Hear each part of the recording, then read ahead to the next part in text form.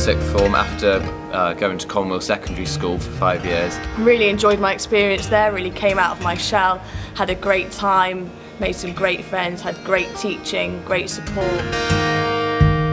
I went to Lethbridge Primary School, which is just down the road. Robert Le Kyng Primary School. I was ready to move on, really. Being in year six, everyone looks up to you. I was quite scared. It was a huge school, there was a lot of people. And then you come into uh, secondary school and you're suddenly right at the bottom again. My main worry was getting lost and getting not getting to lessons on time because I was really scared about getting told off. Very nervous and very scared. Different teachers for different subjects and you've never had that before. Coming up, I didn't really know what to expect. I just saw these year 11s, they were big scary people. You will sort of look up to the year 11s and you sort of see them as a bit scary really, but you find out after a couple of weeks they're not actually as bad as you might think. After a few weeks um, you really settle in, you get used to it, you know your teachers, you know your peer educators. So there's four houses, there's Whitehorse, Ridgeway, Sarum and Stonehenge and that almost becomes like your little community, like a little family if you like.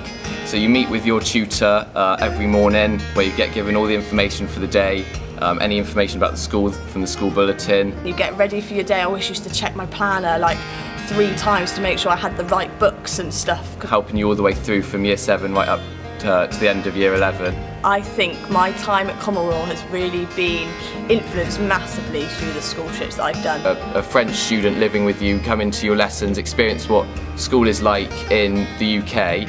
Like going to the beach, going to Legoland, Spain, the PE trip in year nine, I just loved that trip and I think everybody loved that trip. Did the Somme, the battlefields trip in year 10, gain more knowledge about the subject that you're doing but on trips you just really come together as well as make really good friends. And also with your teachers, you get to know them a lot better um, and just the whole experience and you create memories that will sort of, this sounds really cheesy, that will last forever really. Get involved in trips um, if you can. Because you know in year 10 you start your GCSEs and everything and it starts to get a bit more serious. The amount of homework increased quite a lot, especially during GCSEs. I've been quite an organised person and so that really helped me.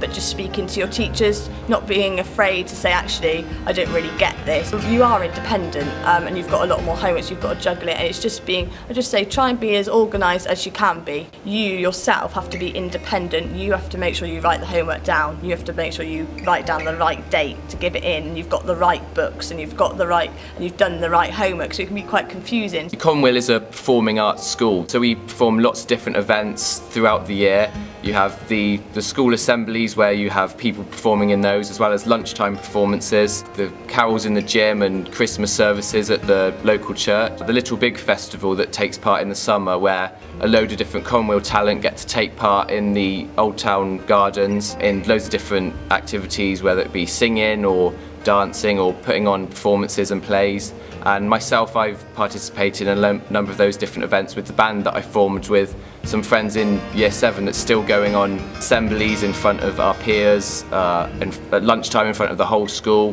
which is well you get to see all the different talent that Commonweal really has to offer um, and it's a chance for people that might not think they're good at anything to sort of express themselves.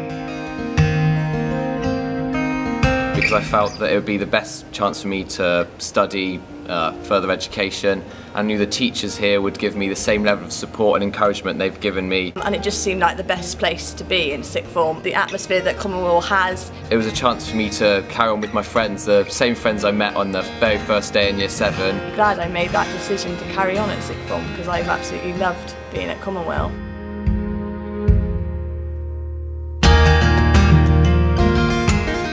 Ask questions when you get there and try not to worry as much because it really isn't as bad as you think it's going to be. It's going to be great.